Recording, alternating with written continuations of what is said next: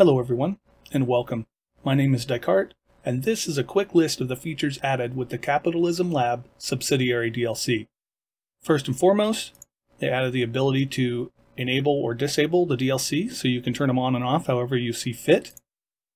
They also added five new scenarios specifically for the subsidiary DLC that you can play through to learn the game.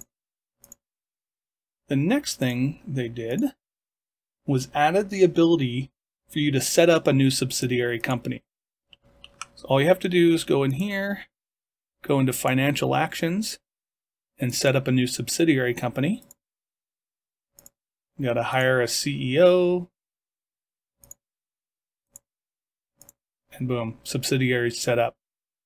So it's pretty pretty easy. You can control all sorts of things about it. Uh, it's really well done.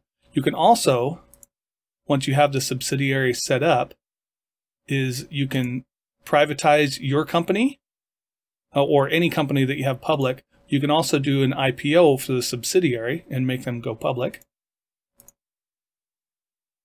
Okay, so now they're they're public. Okay, you can also um, set dividends.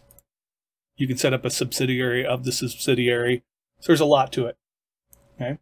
Um, next thing is you can merge. If you go into the stock exchange and choose one company and look at the other company, as long as you control, let's see, this one and this subsidiary, as long as you control enough, you can merge them. So we merge two companies together. Yay. They also added the ability for stores, retail stores, to have up to three levels. So you can have a level here and you can add a new level and set up a new layout in this one. So very, very helpful for that. You can also do product customization. So let's go into manufacturer's guide.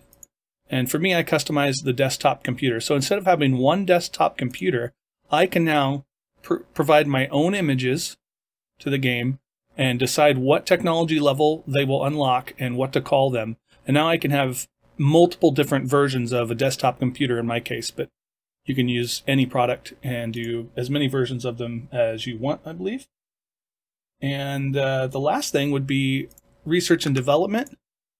Now in the research development, there will be, if you have a, uh, someone hired, there will be product research and development as usual, but you will also have a radical research and development, which will potentially increase the amount of research you're going to get in a shorter amount of time, but also you run the risk of not gaining any research at all. So that's just a quick list of some of the things that have been added with the subsidiary DLC. I hope you enjoy the DLC and I hope you enjoy the game. Thank you for joining me. Take care, everyone.